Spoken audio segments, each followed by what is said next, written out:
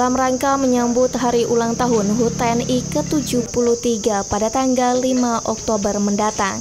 Komando Distrik Militer Kodim 1606 Lombok Barat menggelar kegiatan karya bakti di Desa Selat dan Suranadi, Kecamatan Narmada, Lombok Barat.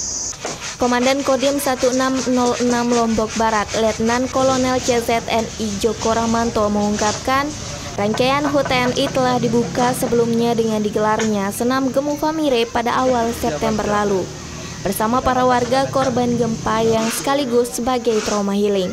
Dan kini dilanjutkan dengan kegiatan karya bakti yang melibatkan sekitar 150 personel TNI dan Polri yang menyebar di dua desa di Kecamatan Armada yakni di Suranadi dan Selat guna membantu masyarakat membersihkan puing-puing bangunan yang rusak akibat gempa.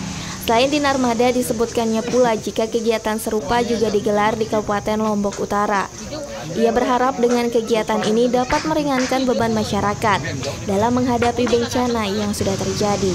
Di mana momen ulang tahun kali ini dihajatkan untuk bersama-sama memberikan kepedulian kepada masyarakat. Selain meninjau langsung kegiatan karya bakti, Letnan Kolonel CZNI Joko Rahmanto juga menyerahkan bantuan perlengkapan ibadah kepada masyarakat setempat yang diwakilkan oleh pemuka agama dan melihat langsung proses pembangunan MCK untuk warga di Desa Selat Narmada.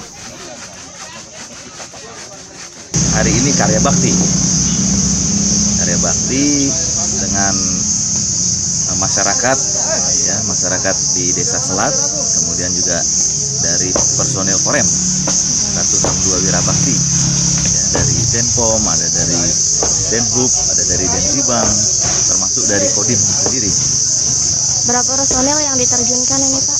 Ini ada sekitar uh, 150 ya, 150 orang termasuk dalamnya masyarakat ya dari Desa Selat, Kecamatan Armada ini. Tujuannya mungkin Pak karya bakti hari ini. Ya sama-sama kita meringankan penderitaan masyarakat yang terkena gempa ini. Lebih lanjut, rangkaian HUT TNI akan dilanjutkan dengan kegiatan donor darah yang berlokasi di Lombok Epicentrum Mall pada tanggal 29 September.